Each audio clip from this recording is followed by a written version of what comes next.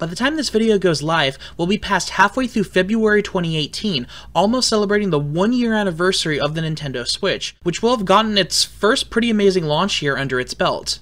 Nintendo put out two legitimate Game of the Year contenders for 2017 in a year that was infamous for finally pushing what developers and publishers could get away with until various and very public outcries finally occurred.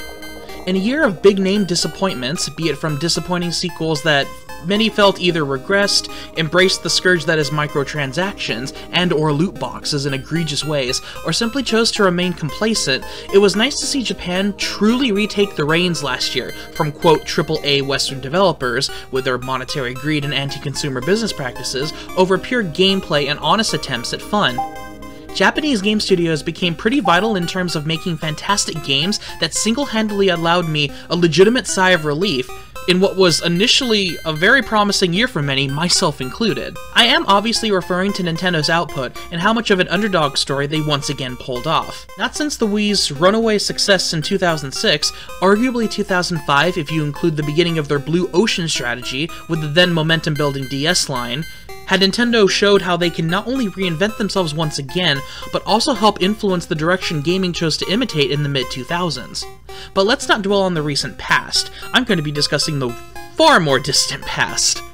To be honest, I'm going to be slightly gushing over the Super Mario games for the better part of an hour, so I'll keep this video as focused as my rambling self can do.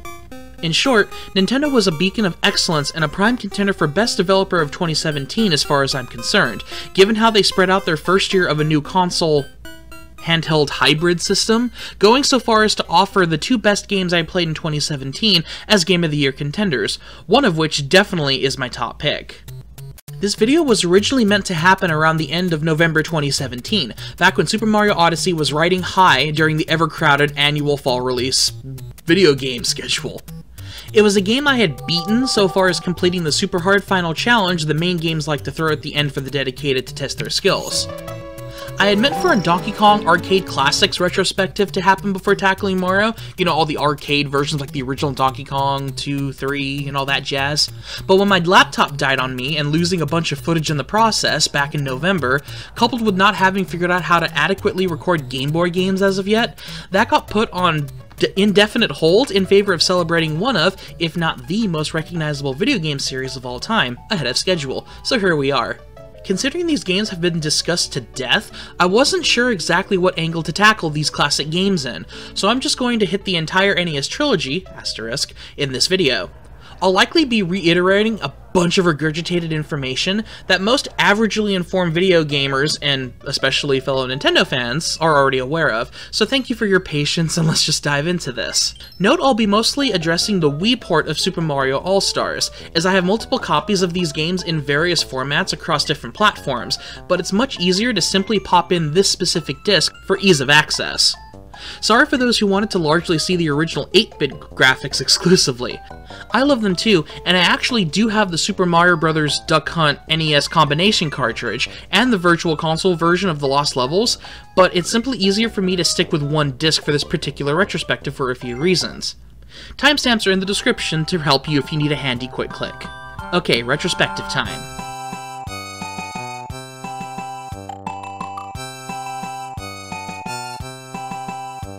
Super Mario Bros. hardly needs any introduction. It's an iconic series in video games and is still around when it's nearing its 40th anniversary. How crazy is that? It's a masterclass in game design and is still referenced in and out of its own series. I don't think I could possibly say any more on this particular game that hasn't already been discussed in much better conversations, so I'll just go in being enthusiastic on what I like, dislike, admire, and how good the game feels to me today. While Super Mario Bros. isn't the first game in the franchise, I will briefly do a history lesson for completion's sake. Though one can say, I like Mario games, that simple phrase can either denote the main platforming games or also refer to the 17 plus sub-series it's connected to. Mario did start out in the arcade classic Donkey Kong, then a carpenter known as Jumpman. He later appeared in the arcade game Mario Bros. that furthered the platforming theme, and introduced a few now standard elements of the series, and started a few Game & Watch titles before finally landing in the Super Mario games, the then so-called main series of platformers. Having ditched Lady slash Pauline and Donkey Kong, Mario and presumably his brother Luigi as well for the two-player modes, reside in the Mushroom Kingdom. When a band of dark magic-wielding turtles known as the Koopas invade and transform the inhabitants into inanimate objects and kidnap seven mushroom retainers and the Mushroom King's daughter, Princess Toadstool, Mario answers the distress call and sets out to rescue them. This is a tale as old as time as far as video game plots are concerned, beaten only by sports games, alien invasions, and the rising genre of role-playing games. You aren't playing the original Super Mario Bros. for its story. Gameplay is king for Nintendo's main mascot, as it remains to this day. You play as one of the brothers Mario as you explore the eight worlds of the Mushroom Kingdom to save a princess from magic-wielding Turtle Dragon. Simple and to the point, as a few cynical folks might point out we've hardly stepped out of this premise, but I'm setting that aside for now. The gameplay in Super Mario Bros. is simplicity itself. You move left and right, climb beanstalks, duck to avoid attacks, slide under low tunnels and enter pipes, run, throw fireballs for a projectile attack, and most importantly, jump. This is as classic as platformers get, and not without good reason. Previous games Mario starred in used the arcade premise of single-screen stages, so Super Mario Bros. utilizing a scrolling stage for seamless and interconnected stages was very liberating, and I imagine a breath of fresh air for those playing in the 80s. Ah, uh, the good old days when technological jumps actually boosted game design over graphics, Bad Jim, stay focused. Today, many can easily spot the tropes that help codify platformers. You travel an obstacle course, usually from left to right, collecting various objects and avoiding hazards until you reach your goal. Like many games from the 80s, a live system and score were included for that fast-paced arcadey feel for bragging rights, though most will likely only care about the timer on each stage, usually around 400 in-game seconds, which really translates to about 2 minutes and 40 seconds. Unless you're the obsessive type to break every block they see, defeat every enemy, and collect every coin, the timer normally won't be an issue for most average players, barring a few of the later stages, in particular some castle levels with repeating puzzle elements. I'll get to those more when I hit the lost levels. So, the actual game. I've only summarized this classic in the most technical of terms because it's what most platform Mario games are. The rules are so simple anyone can pick them up and figure out the gist of them within 10 minutes. It's what helped Mario become a cultural and worldwide icon in the medium.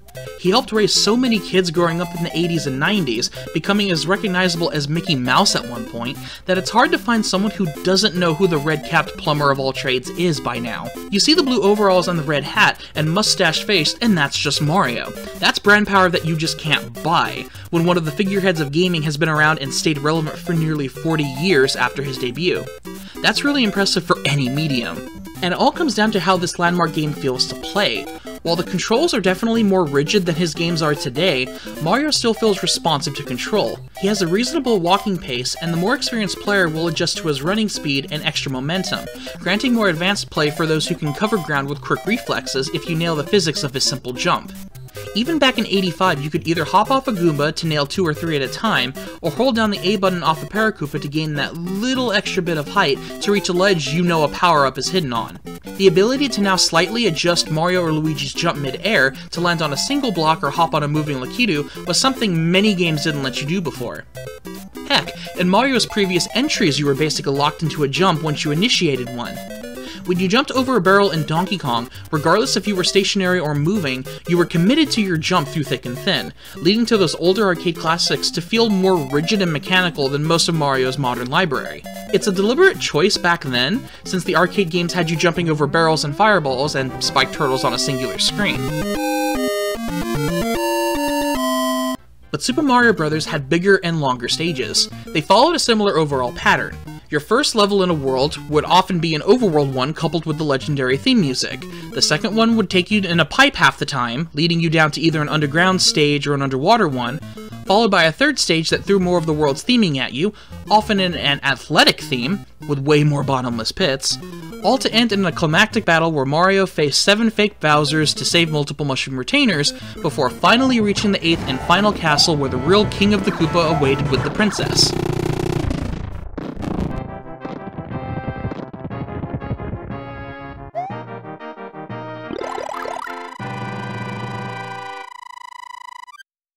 It's a great usage of basic resources, such as the clouds and bushes sharing the same sprites, and doing the palette swap trick for an easy distinguishing visual representation of either a stronger or smarter enemy, or simply a change in theme. Might as well hit upon the art direction here, but there's not much new that I can add in this department. 8-bit graphics are always nostalgic to the older gaming crowd, of which I suppose I'm kind of in at this point. I do love my nostalgia, and can even remember to take off those goggles for things I still like. Jim, focus up. And all the sprite work from this game is legendary. People know Mario when they see him, even in 8-bit form. His design was one of my favorite solutions to an often negatively seen problem, creativity born of limitations. To digress a bit here, I want to address how limitations can enhance video games when clever and resourceful developers turn that problem into a blessing. In this current age of digital games that can be streamed and downloaded on a whim, and with how swiftly technology has advanced with cutting edge computers and beloved consoles, I feel we sometimes as an industry lose the forest through the trees. Just because you can make details such as ants crawling on a tree, see the pores on a player's skin, and experience realistic weather patterns, technology is available to us from a pure technical computing perspective. That doesn't mean you should chase that rainbow with the goal of solely finding the pot of gold if it means ignoring the difficult path it takes to get there. I lost focus in that analogy, but hear me out. When it came to older games in the third generation of consoles, where systems like the Nintendo Entertainment System and Sega's Master System defined the era, games were given much more advancements than before, from scrolling backgrounds that could have decent actual backgrounds instead of purely black voids, to the now standard D-pad and wide assortment of color palettes. Even then, these were still 2040p games, especially primitive to our now HD expectation of visuals you had to make each sprite count, and as such, these limitations helped design some of the most enduring and recognizable characters of all time. Mario, for instance, wore a red hat because hair was too difficult to easily convey, as well as why he has a big nose and mustache. A mouth was simply too difficult to portray. Add to that overalls that could more easily distinguish arms from legs, and voila, a timeless and recognizable character design was born. Same thing with the music. There were only around a dozen compositions in the first game, some being short snippets of completing a stage and dying, with the remaining being the hurry-up versions of the level themes. What there is for a now small soundtrack remains memorable and catchy to this day even 33 years later. It was all about making themes that would stick with the player, so that if you ever hear this game's bouncy waltz, you would immediately picture a plumber swimming around coral, cheep cheeps, and bloopers.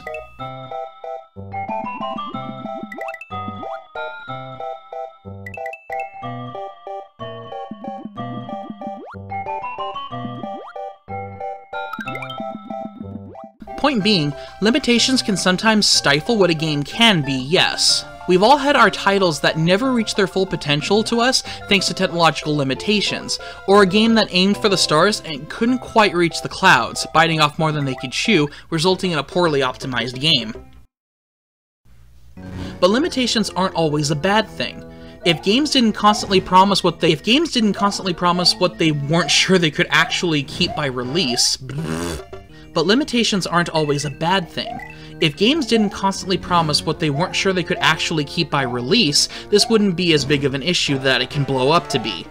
Bullshots are a problem that the majority don't really seem to care about, since nothing of consequence ever really happens. It's something I appreciate Nintendo for.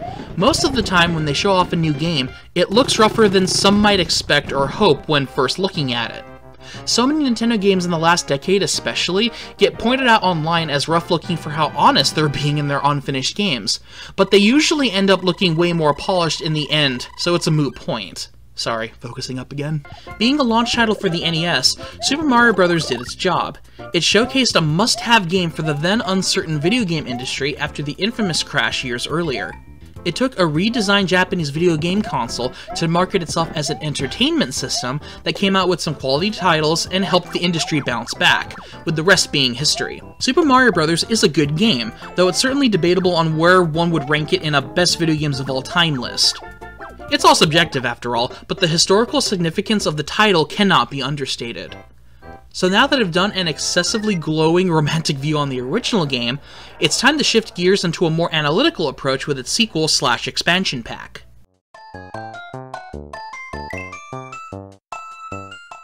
Super Mario Bros. The Lost Levels is one of the titles this game goes by.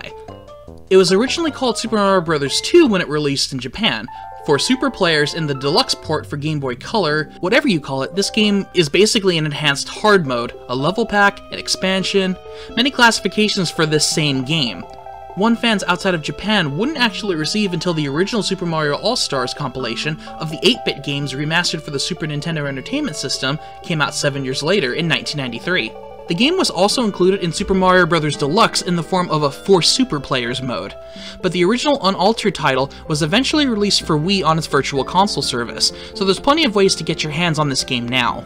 Since the game was both very similar looking to its predecessor and was significantly more difficult, something even a Mario vet like me can attest to, just look at those numerous deaths. Nintendo of America decided to pass on the title, instead dealing with what the world now knows as Super Mario Bros. 2, which I will get into slightly after the Lost Levels.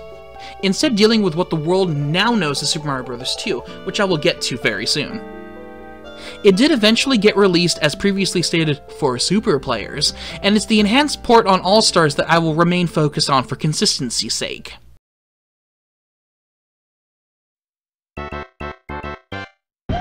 Because The Lost Levels resumes its difficulty from the original Super Mario Bros., I will take the time to discuss both games' mechanics, since I'd be repeating myself otherwise, and it's The Lost Levels in particular that helps illustrate the more minute details of the original classic title. Super Mario Bros. is very accessible to anyone. The simplicity of its controls and gameplay make it a perfect game for anyone interested in video games to just jump right in. World 1-1 in the original game has been discussed to death on how it's a masterclass of video game design. That first Goomba has probably killed more players than any other enemy in video game history. It organically teaches players the basics of the game, forcing the player to only go right, to jump above the angry mushroom trader, to accept the bright colored mushroom, to jump and hit blocks for power-ups, and jumping over obstacles, learning what is and isn't harmful. It then goes ahead teaching the player organically how to time your jumps by coupling Goombas to see if a player learns that they can just hold that other button longer for a higher jump adding a pit to fall in to incentivize pushing that other button, and finding out it makes you run. Maybe discover that you can dunk into those giant green pipes, run into hidden blocks for a 1-up mushroom, discover a fire flower if you realize Small Mario dies on contact with hazards, while Super and Fire Mario gives you a second chance. That a timer exists if you dilly-dally too long, the Starman that makes you invincible for its legendary music, the list goes on. It's a fantastic opening level to an influential game that I really can't add any more to the discussion here. Bye.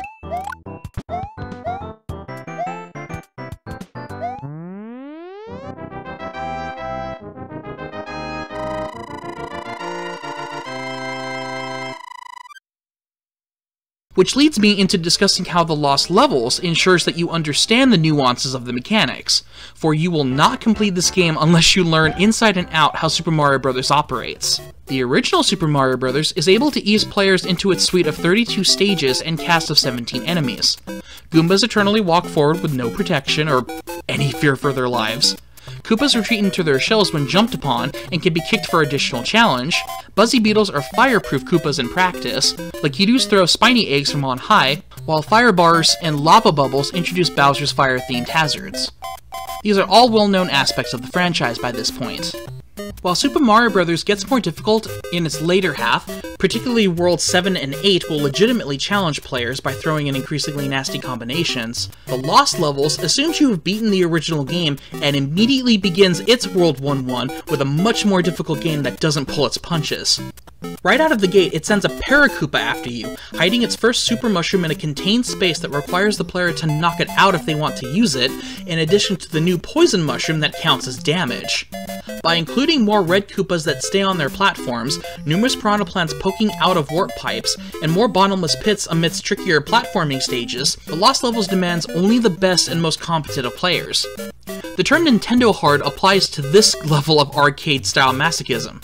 I always think I'm an above-average Mario player until I return to this game.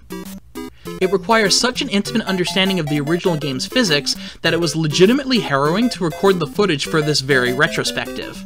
It's here that many current players of more recent Mario games can more easily discern the differences in the classic games versus the new line of 2D Mario games. I know it's kinda confusing. While you can and must hop off enemies to reach certain platforms in the Lost Levels, the physics are way more stiff than later games. The amount of times I expected to gain more airtime after hitting off a Parakoopa killed me more times than I care to admit here. This is admittedly more on me, since I just came off of playing more games like Super Mario Odyssey and its 2D sections, and the physics from the new series, but it bears stating for gamers who never really played the original title. It's why I like going to the beginning of these series when I start a series run through. Taking months, if not years, off of a series allows my muscle memory to more easily forget how newer games play, and makes it more accessible for me to adjust where a series began before sequels helped refine its controls and gameplay. As I'm showing, I had many, many deaths replaying The Lost Worlds. I'm not ashamed to admit that. This game is brutal, and you really feel a proper sense of pride and accomplishment when you overcome these challenges. Due to this increase in difficulty, while getting a game over in the original Super Mario Bros. Causes you to begin all the way back to World 1-1, unless you knew the button combination on the original NES game or playing the All-Stars version here. The Lost Levels allows you to resume the world in which you died. This is further assisted in All-Stars, as you can now resume Super Mario Bros. from any world you had begun from the file select screen, and the Lost Worlds now remembers each individual stage you have reached, a feature I very much appreciated as I began to die more and more to difficult hazards and my own slow collapse into frustrated insanity. While some can consider this a dumbing down of the original two games' intentions, I see these save options as welcome quality of life improvements.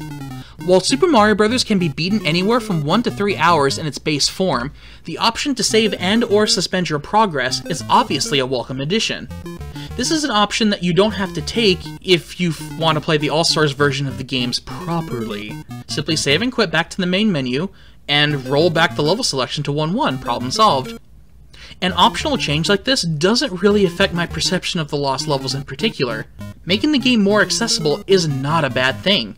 The fact it gives you 5 lives instead of 3 can also be seen as making it easier, but if it really bothers you that much, you can simply, I don't know, die twice. Really, I don't think these are bad changes.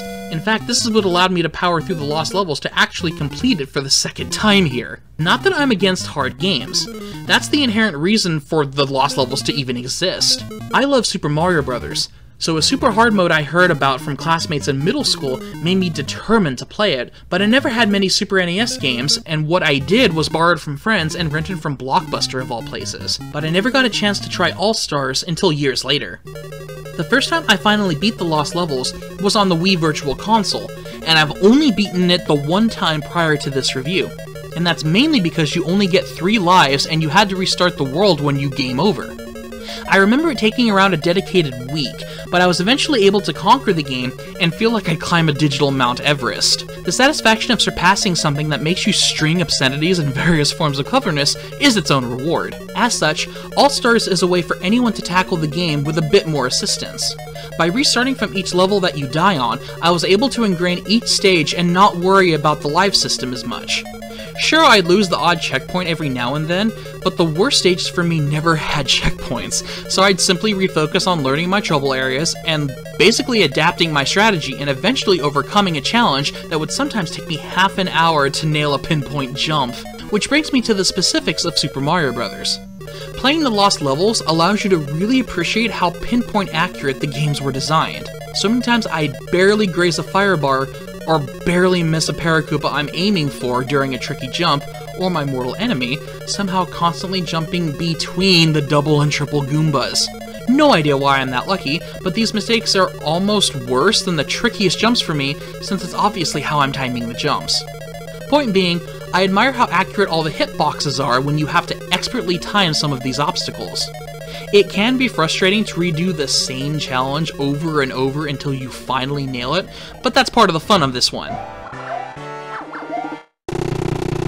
It's kind of a good demonstration on the difference between professionally designed levels and those made by anyone in something akin to Super Mario Maker.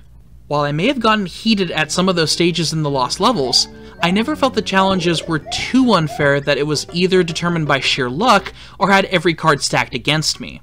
There was always a solution that eventually presented itself, or I finally nailed a specific string of jumps by either slowing down to take it all in, or by memorizing a full speed run through some of the trickier hazards. On the other hand, it's statistically difficult to find good levels in something like Mario Maker simply because so many levels were designed to be gimmicks, the do-nothing ones being a good example. A lot of flair, but it's not actually a platforming challenge, more so than something to simply think, wow, that's neat, before quickly growing tired and wanting to actually play a level. Though the stages that kill you almost immediately, or those that have a hidden get out of jail free Starman or something that avoids a literal wall of enemies, that's that's just not fun. Come on, we can do better. Don't misunderstand me. I know it's not that easy to just make levels and have them either be fun or a decent challenge. It's something that these level creators really help shine a spotlight on, especially with something like the Mario series. Most Mario games are designed in one of two ways. The first is a natural curve that eases players into the game using the first half of itself before ramping up all the challenges in its back worlds, one that all these 8-bit classics do follow. Future 2D Mario games would give players a relatively easy to middling main quest, with a few gimmick stages here and there, while hiding the best challenges in the post-game, something that Super Mario Bros. 4 famously did. But here, you can consider the lost levels that post-game to the original. Professionally designed levels will always be preferable to 95% of what you'll run into when you give full control over to the players, which isn't meant to be shade, it's simply why, while I enjoy Super Mario Maker, the truly great levels were few and far between. While I'm on a semi-rant, might as well switch over to some of my minor gripes with this classic. While you have access to the normal tools of the platforming genre, including moving platforms, the ones that always give me trouble were the trampolines. While the red ones in Super Mario Bros. weren't necessarily bad, I never quite liked the change in physics there. Now in the Lost levels, there are green ones versus the regular reds that absolutely drive me insane. While I acknowledge that my timing is off on half of these, as seen in this footage, they not only alter your jump in a way that constantly cause me to fall into pits due to a lack of height, there are later stages that are utterly reliant on a combination of trampolines, winds, and the fact that you can't see where you are for half the level to time your jumps or landings. That circle of hell for me was World C3. Alright, I forgot to mention, while I first beat the Lost Levels on the Virtual Console version, in the midst of recording this footage and replaying for this review, I learned that there weren't simply 8 worlds like in Super Mario Bros., but also includes 5 extra worlds for a total of 13 worlds with 52 stages of varying madness. This was a genuinely pleasant surprise, even with all the added frustration of some truly devious levels. If you're able to beat the first 8 worlds without using any warp pipes to skip anything, you are rewarded with a surprise World 9 Fantasy World, which is made up of 4 very short levels, which led me to falsely believe it was a hidden thank you level, something that ended up being true, but little did I know there were worlds A through D that are truly crazy obstacle courses. These levels are definitely not for the faint of heart, even more so than the base game. I was able to beat them all though. I finally have video proof that I did try, die, and repeat many, many, many, many times. It's one of those badges of honor in my gaming history that I truly am now proud of. Even with a few minor gripes that one can consider cheap, since I'm positive there's no way any new player would be able to instantly tackle this game without a game over, since there are many small adjustments that do make the game almost unfair. Some of my other bugbears are hidden blocks that either prematurely halt your intended jump over an enemy, leading into an unfair death, or if you're really lucky, also triggers a hidden poison mushroom to kick you while you're down. Those are my favorite. There's also the fact that virtually half the stages are designed to frustrate someone who likes to run through Mario stages, of which I very much am. This footage shows what happens if you charge forward on these stages. Memorization of hazards is required more so in the Lost Levels than in Super Mario Bros., for enemies are often designed to be in your landing path if you make a long running jump over hazards, only to run into something that injures you, often killing me because I'm that kind of reckless in games I think I'm good at. I fully realize this may be a me exclusive problem, but these are my opinions and observations on these classics, and I had to point it out. Other minor nitpicks include a few stages that are simply about rote memorization. While this may seem like a vapid nitpick due to many platformers often turning into semi-memorization challenges, the likes of which I'll address on a certain other competing platforming series in a later video, memorization is oftentimes not necessary for Mario games. They are typically designed organically enough to introduce the level's hazards, ease you into variations of that challenge, wrap it up for a climax, and then moving on to another theme or combination of traps. Memorization isn't necessary more so than it is just pure challenge and recognizing your obstacles at hand. Stages like World 5-3 in particular devolved into rote memorization for me, the likes of which tend to drive me up the wall. Admittedly a lesser issue since lives rarely matter in the All-Stars version, it still lost me enough lives that I had to put it on blast for being one of the most difficult levels in the entire series for me. As much as I complain about World C3 and its cheap usage of guessing your momentum to fall on small platforms and constant wind, 5-3 was simply one of those that really kicked my teeth in for whatever reason. You think you're doing alright until you're stuck on this stage for half an hour, taking an hour long break in which you leave the Elgato recording the dead air, only to come back with a cooler head and finally overcome the challenge. As if I entered some alternate calm bliss. I thought I'd reach inner peace. It was amazing. Half of these difficulties are all in your heads, friends. Calmer heads tend to prevail more often than pure unbridled gamer rage, as much as it helps, but that could just be me. Other than that, these first two games are still classics. Super Mario Bros. will always hold a special place in my heart for being the first console game I can actively remember playing and beating for the first time when I was something like 5 or 6 years old. The music is still timeless, the gameplay is still as responsive as ever, if a bit stiff and lacking all the nuance of later games, and it's still a must play that everyone who enjoys video games should try it at least once if you somehow haven't already. The Lost Levels is a super hard expansion to one of the most classic games of all time, but it's definitely for those super players who love the original game and think they're up for the challenge. It also introduced the recurring theme of putting faces on objects like certain mountains and clouds and other semi-sentient inanimate objects, so it's kinda neat that that decision was relatively early in the franchise's history. Platformers may have lost their status as the go-to genre in the last 20 years, but Mario started something big here, enough to garner two more 8-bit sequels, one of which is the black sheep of the mainline series. As mentioned earlier, the game known to the Western world as Super Mario Bros. 2 is also known as Super Mario USA in Japan. This is because it's a retooled version of a Famicom disc game known as Yume Kojo. Yume Kojo. Doki Doki Panic, otherwise known as Dream Factory, heart-pounding excitement when translated, thank you Mario Wiki, and I'm sorry for butchering Japanese. One thing I tend to mention when discussing franchises that often are in long-running series, there's usually a game or two that goes off the beaten path for what a series is now known for. In this case, Super Mario Bros. 2 is that game for the mainline Mario series. Most of this comes down to how different the gameplay is compared to most Mario titles. For one thing, the biggest feature of the game is allowing one of four characters to pick up and throw objects, including makeshift projectiles, keys, and even enemies. Because of this, jumping on enemies doesn't actually defeat them, which is so on Mario that it utterly confused me when I first played the game in its enhanced port when it's launched on the Game Boy Advance as Super Mario Bros. Advance. That's a weird enunciation. The changes are pretty significant beyond changing the base action, even leaking into the framework of the actual story. Quick summary of the plot.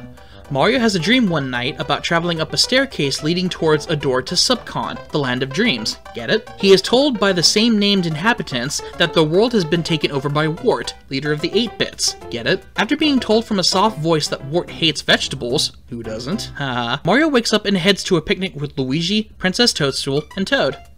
When they all discover they shared a similar dream, they happen upon a cave with a familiar looking staircase. Upon reaching the expected door, all four realize their dreams were real and they decide to help the subcon in taking back their world.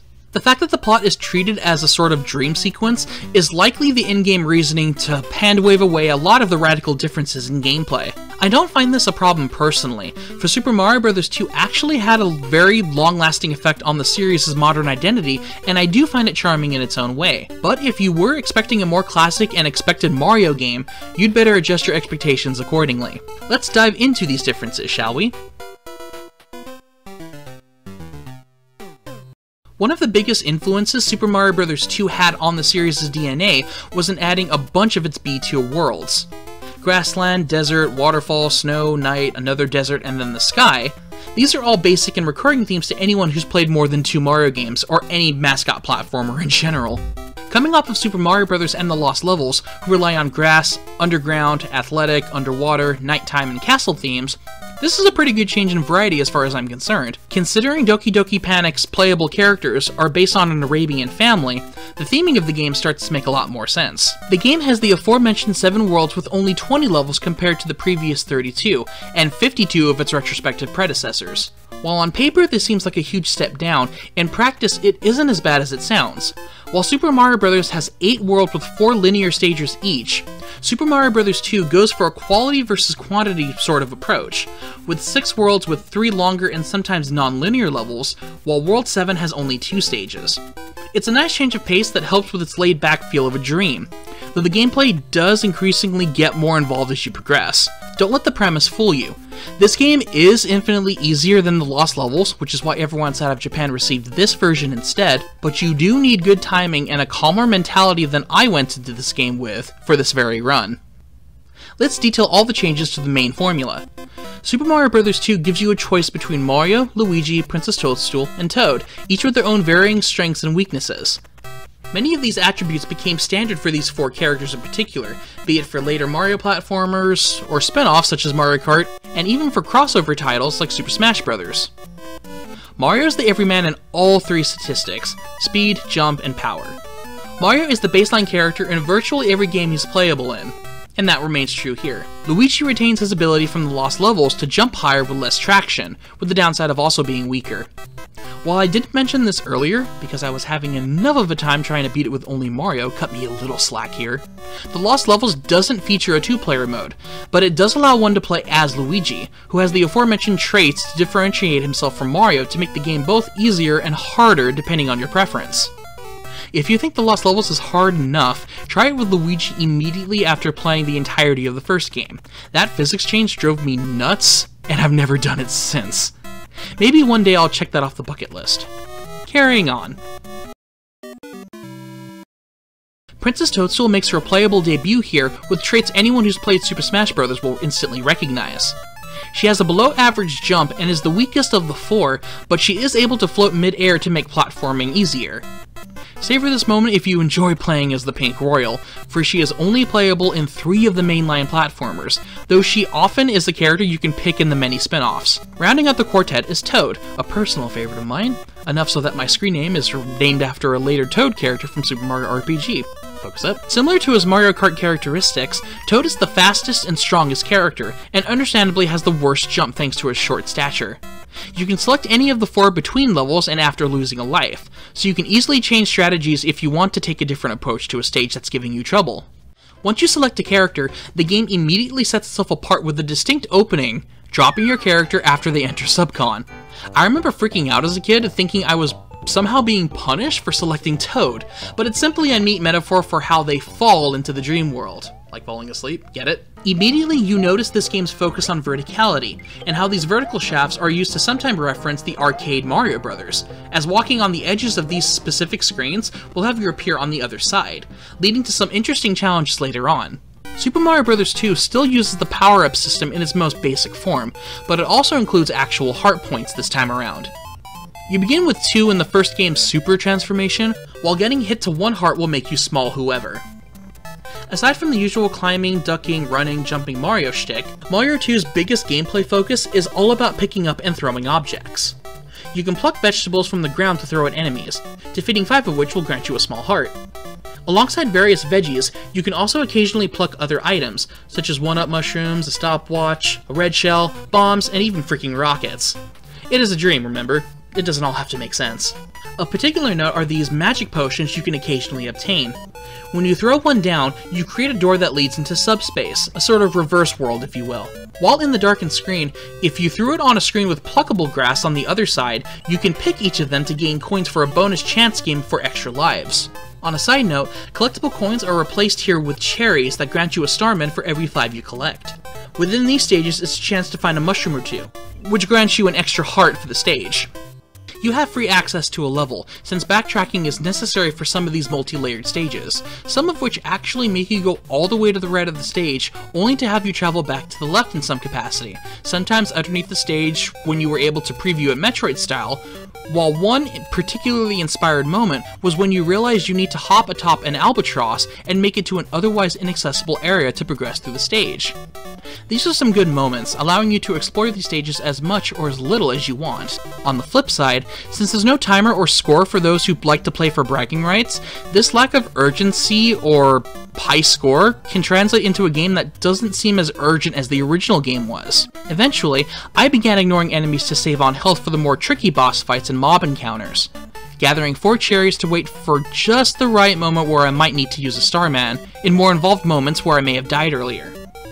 While the one benefit for exploring the levels would be for the mushrooms to increase your health for the boss encounters, I eventually gave up halfway through the game since I likely missed half of the locations the first ones were in, and some of the second ones were hidden beyond light puzzle areas, and I couldn't reach the area they dropped in. They also aren't really telegraphed, so it's completely possible that most players, like myself, will simply pluck grass from the direction we approach the patches in. So if you say started plucking grass from left to right because you entered from a westward door, if the magic potion is located on the third or fourth patch of grass, you just eliminated most, if not all of your chances for these coins. Even more likely, the mushrooms begin appearing in screens a fair distance away from the magic potions themselves. So, say in one of the desert stages with long stretches of both enemies and hazards, you might completely miss where they placed this mushroom, feeling like you wasted your opportunity to get something of value, and may have dropped it because an enemy was approaching you or you needed to throw something. What makes these even worse is sometimes, depending on where you place the door to subspace, you can appear immediately in front of respawning enemies, either eating unavoidable damage because you either didn't notice or even see that's where an enemy would spawn, or if you're really lucky, simply cause yourself to lose a life if you aren't fast enough or directly in an enemy if you're small. A second or two of iframes wouldn't have gone amiss when returning to Subcon if you're going to keep the game game as is, but I almost wish the designers would have simply not spawned enemies on the screen as an alternative.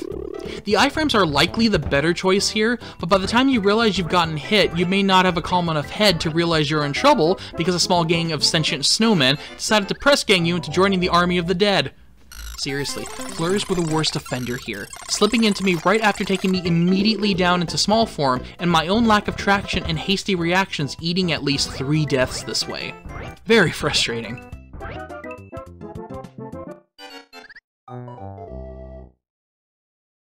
I'd also like to mention a few oddities that had me scratching my head or laughing at how I'd forgotten about them. For one, whales are a pseudo-neutral entity in World 4.2 that spray water from their blowholes as temporary platforms. What I didn't remember was that if you approach them from the sides, it actually damages you, and I got two deaths from this humiliating method. I'm not sure if this sort of kind of attack is present in any other game with water here, but I think my experience with Yoshi's Island, where water simply pushes you back as a hazard, and doesn't actually kill you, made me laugh out loud at how it killed me twice here. I don't know, dream logic. Another is how I was cautious around cacti initially before realizing that they were perfectly safe platforms alongside pokies. I know I can't be the only one who originally thought to avoid them in the same way I did pokies, as every other game has conditioned me to avoid jumping on sharp objects, especially in the Paper Mario games. It's little things like these that remind me that Super Mario Bros. 2 is a really weird little game, but every nickel I have with it is semi-countered by something charming or fun, like taking control of a Pidgit's magic carpet, similar to how you would ride Lakitu clouds in later installments. But I digress. The game isn't as badly designed as I may have come off from the last few minutes of ranting about it. If you don't rush into danger recklessly and take your time to observe the obstacles being presented to you, you likely won't have too bad of a time. I'm simply voicing my own frustration in the few examples of me having a very tough time in what I considered one of the few bad decisions in lacking in vulnerability time for potentially instant deaths. I also know part of my difficulties were simply readjusting to the changes Super Mario Bros. 2 brought with it, compared to the much more difficult lost levels. Playing a much more relaxed game coming immediately off of arguably the hardest game in the series was likely a mistake on my part. I had the original physics in my head and the gameplay mentality, and it took me until halfway through this game to acclimate to the different sense of the characters in Super Mario Bros. 2, which is why I mostly use Mario by the end of this, so I swear I'm not as awful as some of this gameplay makes me seem. I swear I used to be really good at this when it was my first Game Boy Advance game. So ignore my nitpicky gripe, I admit it's exactly that back to the game. For as different as this one was coming off of one of the most famous games of all time, much of Super Mario Bros. 2 bled into the rest of the franchise. Many of these enemies are now commonplace Mushroom Kingdom residents. Shy Guys, Ninji, Sniffits, Pokies, Bob-ombs, these are all now commonplace Mario enemies that originated from Doki Doki Panic, many of which are ingrained in the RPG Mario subseries. Of similar note is how each character is given a special jumping ability in the Power Squat jump, one of the many alternate jumps Mario would soon be able to pull off in the 3D games. By crouching for a few moments, Mario and friends can build up energy to jump higher than normal, useful for certain vertical obstacles and one particular moving stage. One special enemy of note is Phanto, sentient masks that typically guard keys for locked doors in Subcon. These enemies will relentlessly chase anyone who holds the key, until they drop it or it's used and presumably breaks off in the lock Zelda style. For an enemy really only seen in one game and used for a small challenge between areas, Phanto is one of those enemies that really sticks with you, especially if you played the game when you were younger. It was kind of terrifying in a way masks kind of subtly are, though I feel my experience and love for Majora's Mask definitely intensified my admiration for this particular enemy more than most would. I don't know, I really love how simple this thread is, could just be me. Now onto the boss encounters, of which most stages end on. The most frequent boss encounter is the infamous Birdo, the gender indeterminate enemy eventually turned semi-ally who also goes by Catherine in Japanese. It likes to spit out eggs that the player can hop on and throw back, though the alternate colors can also shoot out fire from its snout, requiring either careful timing for the red Birdos and requiring indestructible mushroom blocks for the gray ones. More additional bosses include Bowser, Tryclyde, Fry Guy, and Clawgrip, most of which throw projectiles to be used against them. When finishing most stages, a crystal ball can either be found or relinquished from a birdo that allows the heroes to exit through the bird-like mask gates. In the final stage before challenging Wart, a mask gate will attempt to surprise the player with a boss fight if you don't read the environmental cues that as gamers speak for we are telegraphing an enemy counter so hard it hurts, so get ready.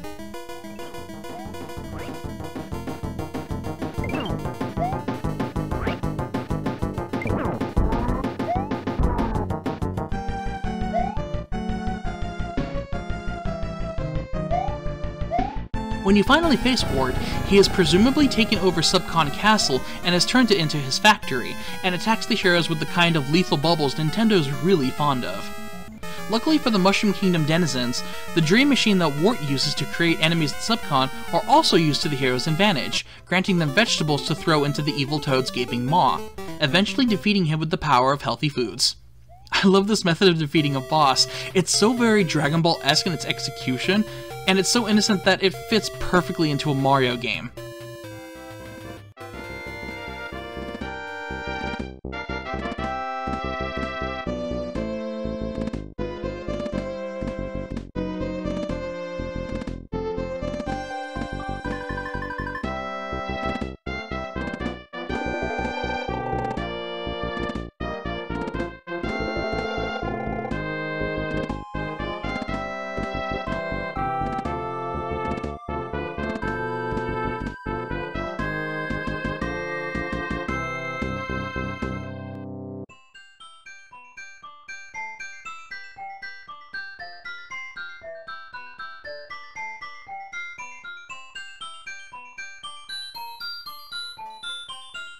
Once Wart is defeated, the subcons rejoice as Mario wakes up in his bed.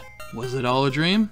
Who knows, you aren't playing this for the story. All things considered, Super Mario Bros. 2 is the clear black sheep sequel for the mainline Mario franchise, but this isn't necessarily a bad thing. It's not as drastic a change as, say, Zelda 2 was compared to its initial game, yet it would be remiss of me to mention how different Mario 2 feels by the simple and major change of how you interact in a Mario game. The fact that jumping doesn't immediately kill everything. The music is nice, the presentation's charming, and the challenge ramps up appropriately right when the concept of plucking and throwing starts to lose its novelty. The change in approach was a welcome sigh of relief after coming off of the lost levels, so I may have enjoyed its mellow tone a little bit more this time than most likely would. Three down, one to go. When it comes to the final 8-bit game, Super Mario Bros. 3 is a great example of a fantastic sequel that pushes the console to its limits. I was too young to enjoy it when any of these classics came out, but reading about it, this game in particular was an event. The Wizard, a film best described as made solely to advertise this one game, is all you need to know for its cultural context. Not that I think Super Mario Bros. 2 is bad, it was simply a path down a side street instead of staying on the main boulevard. So when Super Mario Bros. 3 was shown to make a return to form in the vein of the original Super Mario Bros., I imagine the hype was very real.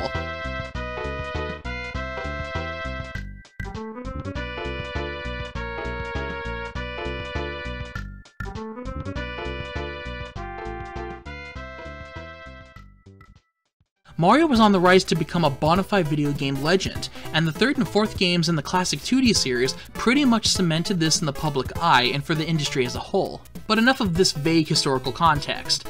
I can confirm Super Mario Bros. 3 is a great game. Definitely one of my favorites in the series. It often battles with World as my favorite 2D Mario game for different reasons, depending on when you ask, as both games have some great strengths that balance each other out. While World is a big enough game that I'll address that in its own video as a proper next-gen sequel in the not too distant future, as this series is supposed to be, I'll finish off the NES air quotes trilogy and the base All-Stars collection. Super Mario Bros. 3 returns to the Mushroom World in what may or may not be a stage play. While the game gives hints about this being a performance from its opening title screen and the original NES version having Mario cast shadows on the backgrounds, and various blocks being bolted to the set, the remakes don't carry a lot of these details forward, so make of that as you will. The story deals with Bowser returning to the Mushroom World with his children in tow, each invading the neighboring countries near the Mushroom Kingdom. Stealing seven magic wands from seven kings, the Mario brothers set out to defeat the Koopalings and retake the magic wands to change back the transformed kings.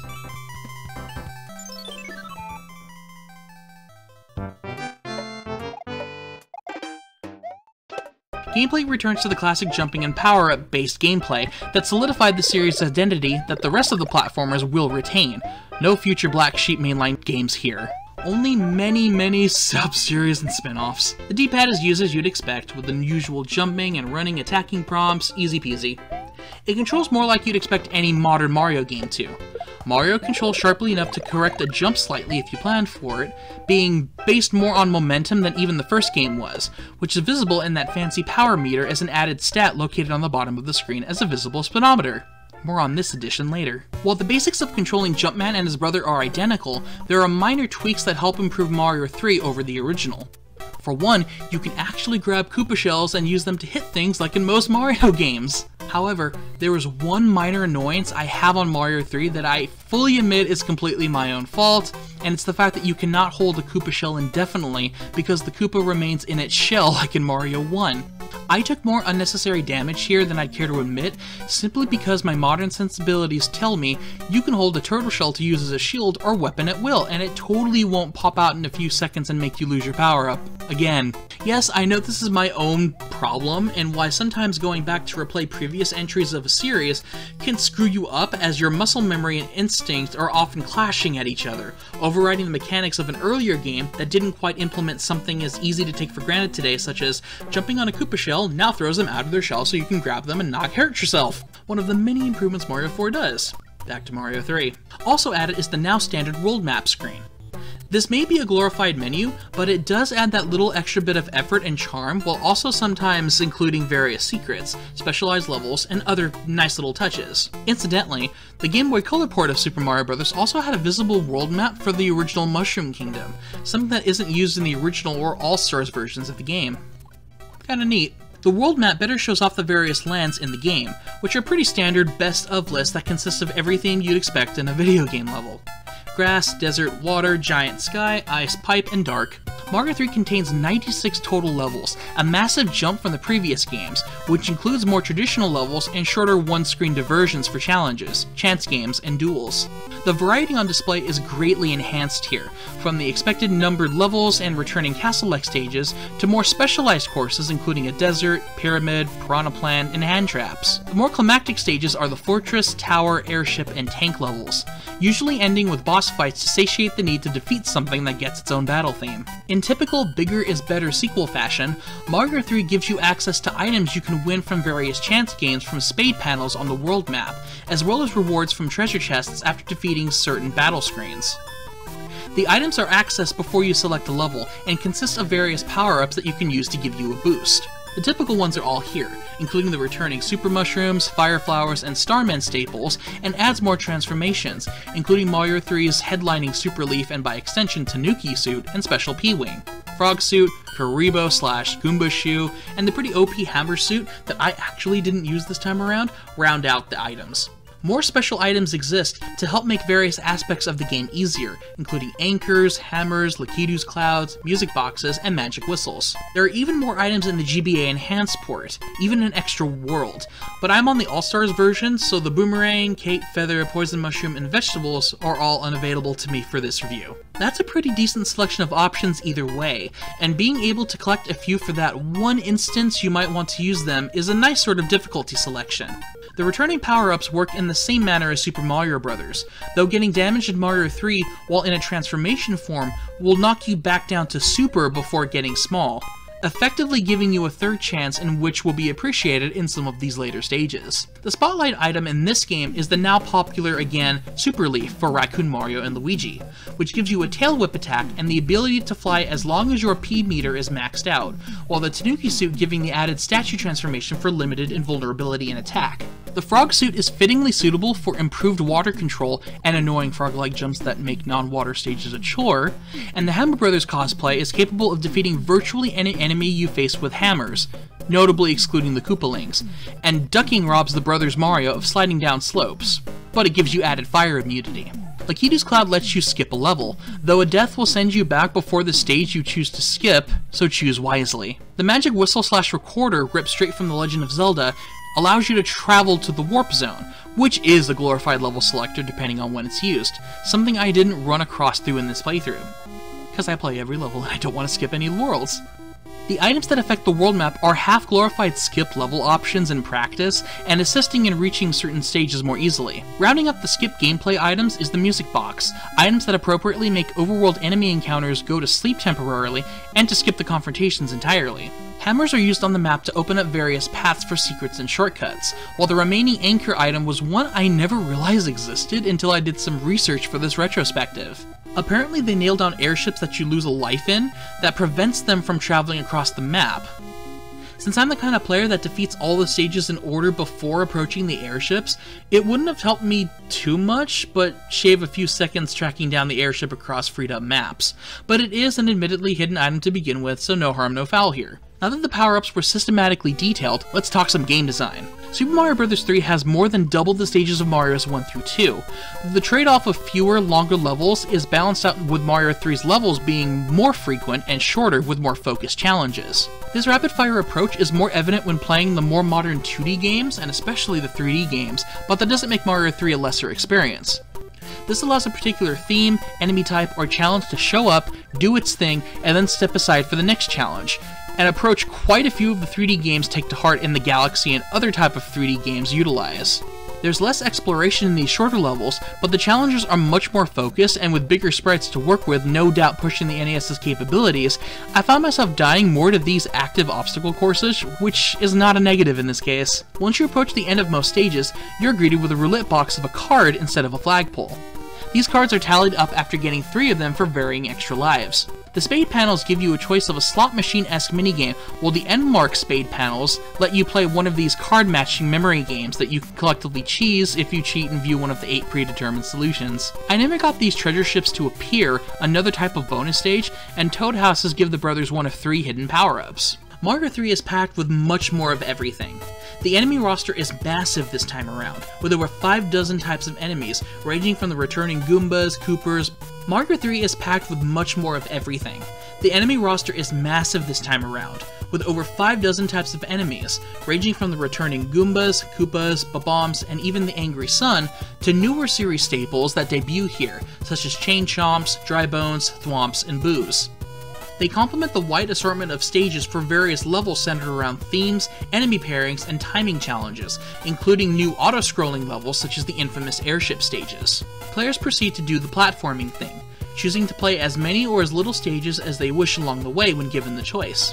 Being the semi-completionist that I am, I always opt to do these stages as chronologically as I possibly can, appreciating the numbers on the main stages to determine the path in which I do them, or at least the order.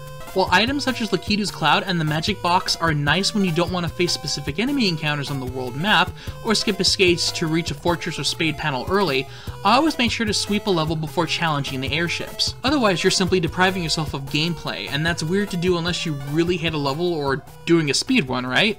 Due to the shorter length of the stages and expanded variety, the game can seem to fly by much more quickly than Mario 2 did with its larger and more non-linear levels. Because of this, you're never left in one location or doing any specific type of challenge before quickly passing through it and doing something completely different. Grassland may be the requisite tutorial world, but as early as Waterland you're already facing newer types of enemies, obstacles and platforms such as donut blocks, quicksand, persistent enemies such as stretchers, and utilizing new bolt lifts. That I fondly remember from Super Mario RPG. All this variety is pared down slightly when it comes to the bosses. Protecting each of the seven Koopalings is Boom Boom, an orange turtle that may or may not be the same individual here, it's sort of vague in his debut. Often found in fortresses, he acts as a mid-world boss encounter, mostly challenging the player with a similar encounter in a one-screen room. He's not that difficult to defeat, the only thing you need to watch out for is when he ducks for spikes and if he decides to either jump or fly before his desperation moves. Essentially the Birdo of Mario 3, Boom Boom wouldn't make a return for a very long time, possibly in shame for being so ineffective in escaping Bowser's wrath because of it. Magic balls are dropped whenever Boom Boom is defeated, opening up more of the level for Mario and Luigi to progress through.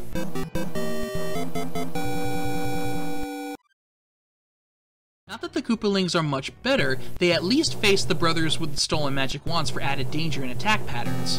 And they're fan favorites at this point. While initially portrayed as Bowser's children during the NES release, their status is now much more ambiguous, seen mostly as possibly minions rather than being Bowser's own children. Regardless, they were each sent to seven lands with armies and airships in tow. Fun fact, they're all named after musicians. Larry, Morton Jr., Wendy O, Iggy, Roy, Lemmy, and Ludwig von Koopa. Each possesses a different colored wand used for projectiles along their own pattern of attack, from simply jumping to causing immobilizing ground pounds and even permanent obstacles to make each fight slightly unique. After each one is defeated, Mario or Luigi returns the magic wand back to their respective kings, who are then returned to their original forms. After which Mario receives a letter from the Mushroom Kingdom, Peach will usually wish Mario well with some sort of in-game hints or advice, before Bowser sends the seventh letter and reveals he kidnapped her while they were off adventuring. Reaching Darkland, a multi-stage world comprised of stages with no sunlight where King Koopa makes his first real castle location in a hellish area, the Mario Brothers proceed to tackle some of the toughest stages in the game, full of auto-scrolling tank and airship stages, three hand trap levels, and trickier stages filled with puzzle elements to make you act carefully and pay attention to your surroundings. Upon eventually reaching Bowser, who returns in a manner similar to his initial appearance in Super Mario Bros., with relentless fireballs fired from the right side of the screen, he now attempts to ground pound Mario or Luigi, and thus the solution quickly becomes clear. Once defeated, it's a happy ending for the Mushroom World, as temporary peace is restored as the stage play comes to a close. What is likely clear by now is how I adore this series' origins. They're classics that I believe still hold up very well decades later, as it's hard to ruin a platformer if the controls are still tight and the hitboxes work this well, put alongside great level design, variety, and a charming presentation with timeless music that will stay stuck with you for days after you complete each title and is still here as I read this off. As far as these four 8-bit titles go, there is a clear improvement and willingness to change things up, making each entry distinct with the slight exception of the lost levels, which admittedly was why we didn't receive it outside of Japan for years. These games are all worth your time if you enjoy platformers or simply want to get into this medium. Mario is synonymous with video games, and he stuck around for very good reason. His mainline games began with some very solid foundations coming off of the early arcade Donkey Kong games. Nintendo wouldn't hold a major monopoly on nostalgia with a capital N if their legacy wasn't valued by millions of people. I know I didn't say anything new or mind-blowing for many Mario or Nintendo fans, but I do hope my enthusiasm for these games came across with this semi-in-depth dive into some of my favorite games growing up. Were I to rank these three from my favorite on down, it would definitely be Mario 3, 1, and then 2, with the Lost Worlds being included with Super Mario Bros. This isn't to say Mario 2 is garbage, even though I can see why the argument would be made given how different and off it feels compared to its surrounding games, but I don't really mean to imply that. It's a good game that I feel is the middle child clearly overshadowed by the quality of its big and little siblings. It's like riding a roller coaster, switching up to a calm or flume ride, then going back to another roller coaster. I have the weirdest analogy. Mario games can be played in any order, but I feel I'm doing some sort of little insignificant service by going in release order and seeing how past games affect the series' overall identity and how newer games pull and learn from previous installments. This initial trilogy is still well worth checking out if you can play any version of All Stars. Each game is available digitally on any currently supported Nintendo platform as well, and I would definitely recommend 3 over 1 if you needed to check out only one game as far as this monster of a franchise is concerned. Heck, all three of the games are on the NES Classic if you can manage to get your hands on one, you lucky devils. It's honestly not hard to play any of these titles, so maybe I'm simply speaking into the uncaring void of an internet who doesn't need some random fan gushing over what makes these games worthwhile to me. Long story short, go play these games, even if it's only just once.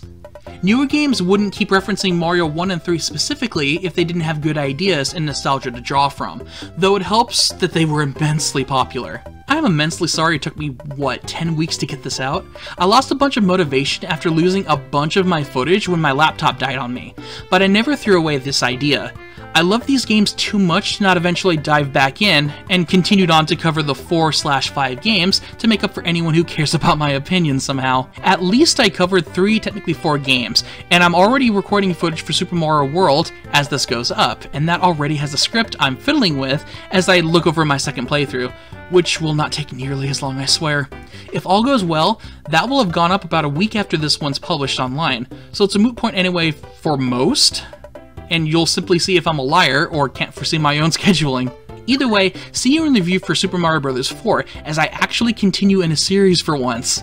I'll somehow get around to covering Metal Gear 2 soon, and hopefully figure out how to get quality footage of Metroid 2 and its remake so I can fully dive back into Metroid. I love that series. I just received Uncharted 4 and its expansion pack The Lost Legacy as a late Christmas present from a friend, so I might push up the main Uncharted games and The Last of Us, since that's also getting its second game really soon too, huh? It'll be good to mix classics and modern series. Keeps me on my feet with a variety on things I have to talk about and I do have opinions on those games in particular. And was it great to get that Kingdom Hearts 3 news last week or what? Monsters Inc., Marluxia, Vanitas, and Utada returning? Hype Train is back on track. But is it optimistic to believe it's going to remain a 2018 title? Fingers crossed, but don't be surprised if it doesn't make it. I just hope it can finally surpass Kingdom Hearts 2 Final Mix for me.